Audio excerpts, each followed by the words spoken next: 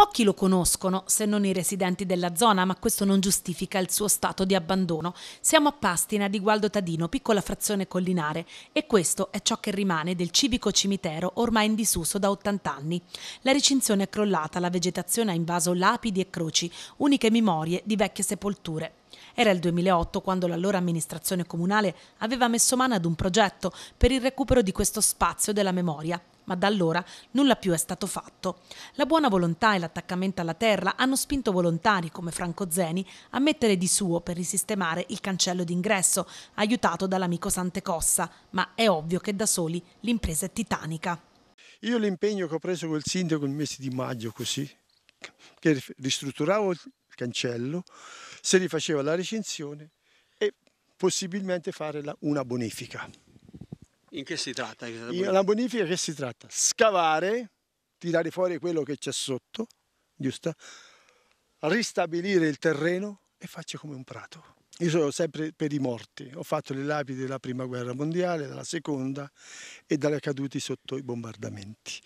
E c'era rimasto questo, se era possibile da una mano per riattivare, no, riattivarlo per risistemarlo. In questo cimitero eh, ho lo zio, mi ricordo benissimo, un fratello di mia madre morto a nove anni e io e mia madre, io abito a Grello, sto a due chilometri, venivamo tutte le domeniche a piedi e mi ricordo che eh, la buca centrale della chiesa che abbiamo alle spalle, sotto è piena di cadaveri, non so se l'hanno levato, e lì sotto c'è il fratello di mia madre. La mia grossa aspirazione sarebbe addirittura, non come la pensa Franco, di poterlo riaprire e io sarei prontissimo a spostare i miei cari dal cimitero di San Facondino a qui, anche perché stiamo a 100 metri, voglio dire.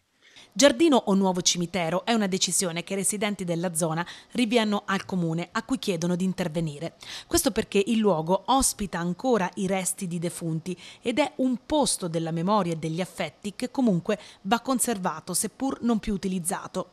E invece è purtroppo in mano allo schiavventori notturni come anche alla fauna selvatica che qui scava introducendosi anche nel vecchio ossario della chiesa. Circa 20 anni fa, sai i cacciatori girano, hanno i cani.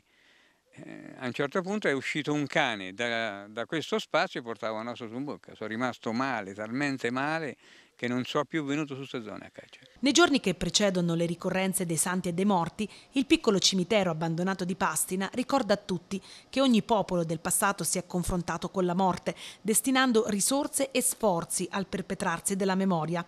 La storia ha tenuto in degno conto anche questo aspetto nel misurare il grado di civiltà di una popolazione.